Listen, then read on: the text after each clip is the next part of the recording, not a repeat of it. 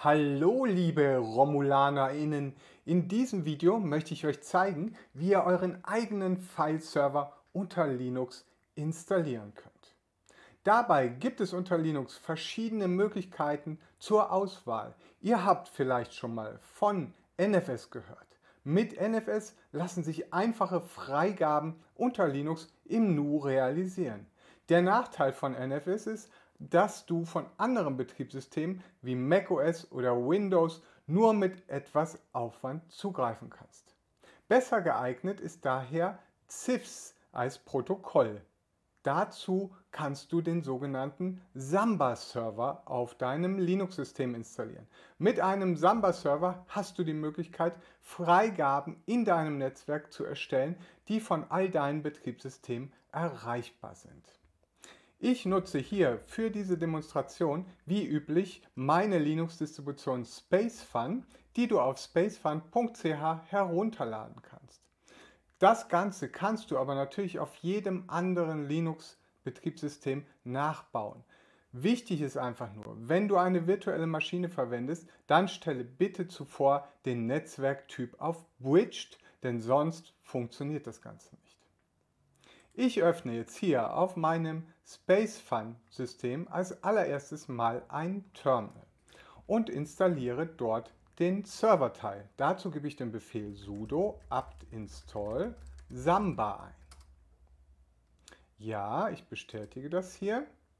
Und im Hintergrund wird mir jetzt bereits der Samba-Server installiert. Es ist aber so, dass du den Samba-Server wirklich noch konfigurieren musst. Die Default-Konfiguration ist okay, aber doch recht offen zugänglich und wir möchten ja genau bestimmen, wer auf unseren File-Server zugreifen können soll.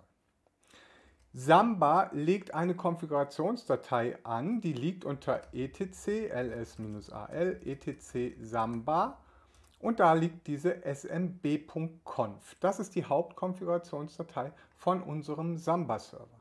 Die können wir uns jetzt hier mal mit Nano anschauen. Nano.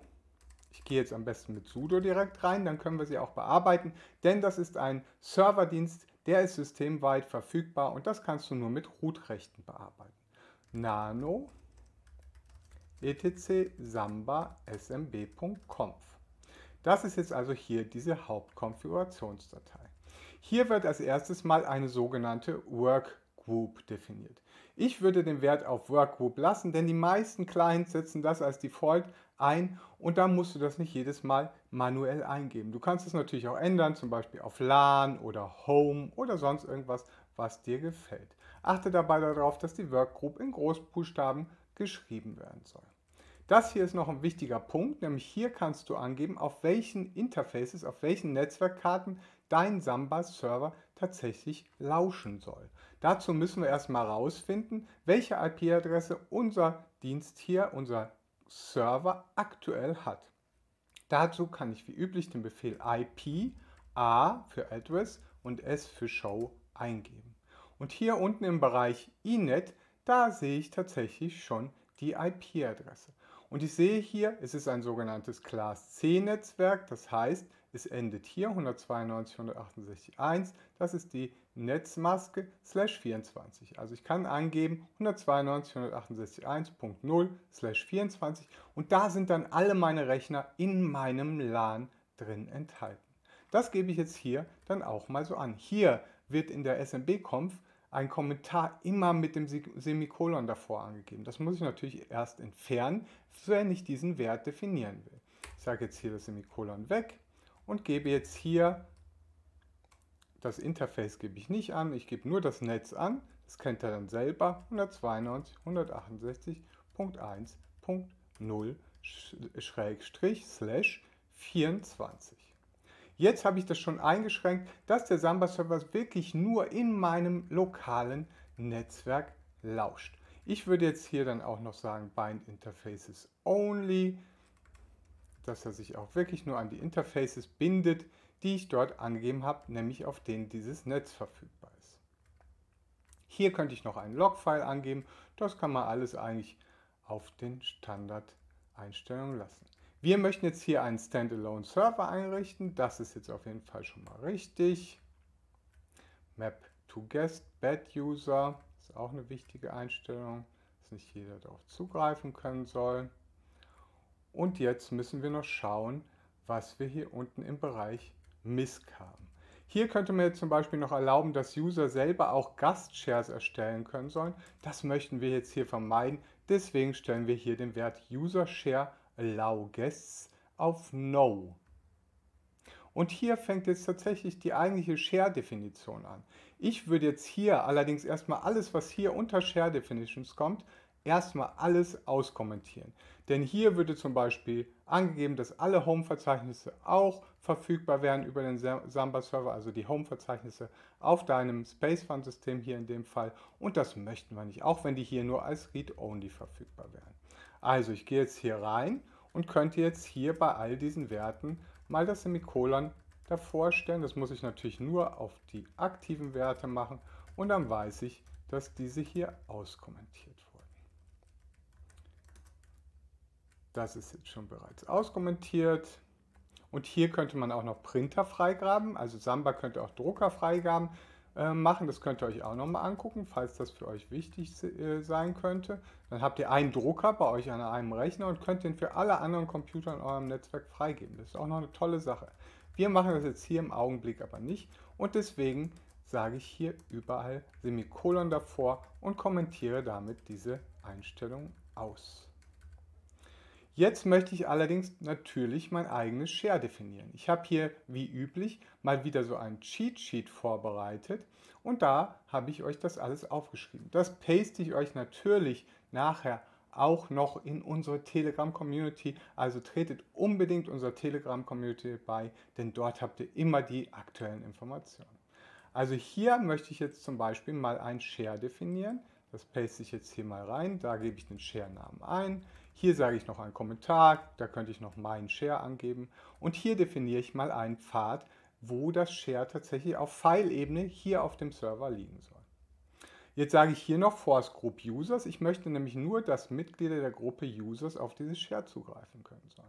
Und hier kann ich wieder eine Directory und eine Create Mask angeben und die sagt mir hier, dass der Eigentümer und die Gruppe alle Rechte hat, nämlich auf die Verzeichnisse und auf Dateien. Create Mask bezieht sich auf Dateien und Directory Mask auf Verzeichnisse. Read Only No, denn wir möchten ja schreibend auch auf dieses Share zugreifen. Und hier sage ich nochmal, welche Benutzer denn tatsächlich auf meinem System auf dieses Share zugreifen können sollen. Und zwar sind das alle Benutzer, die hier auf diesem Server in der Gruppe Users drin sind. Das müssen wir natürlich gleich noch anschauen. Ich speichere das jetzt erstmal ab, Ctrl O, Ctrl X und damit ist die Konfiguration hier eigentlich schon vorgenommen worden. Nun gibt es aber diesen Ordner Home Share, den wir in der Freigabe angegeben haben, noch gar nicht. Den müssen wir also jetzt erst erstellen. Ich gehe also in das Verzeichnis Home, cd Home und mache jetzt hier ein sudo mkdir share. Jetzt hat dieses Verzeichnis natürlich noch nicht die entsprechenden Berechtigungen, denn ich möchte ja sicherstellen, dass auch auf Dateisystemebene alle Mitglieder der Gruppe Users auf diesen Ordner zugreifen können. Denn das, was wir vorher definiert haben, das bezog sich ausschließlich auf die Freigabe. Es gibt einmal die Freigabe, dort können Berechtigungen gesetzt werden und dann gibt es das Dateisystem das ganz normale Linux-Dateisystem. Da müssen die Berechtigungen natürlich auch passen. Also hier gebe ich jetzt noch ein sudo chgrp users share ein, ls-al und sehe, jetzt hat schon mal die Gruppe Users Rechte auf dieses Verzeichnis. Jetzt stimmen aber die Permissions noch nicht. sudo chmod 770 share. Ich mache nochmal ls-al. Jetzt können schon mal nur der Owner, das wäre in dem Fall root, und alle Mitglieder der Gruppe Users in dieses Verzeichnis rein und dort auch lesen, schreiben und ausführen.